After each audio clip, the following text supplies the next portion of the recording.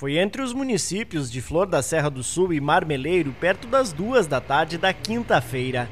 Osmar Sartre, 57 anos, conduzia esse carro sentido Marmeleiro quando perdeu o controle da direção, saiu da pista e caiu na ribanceira.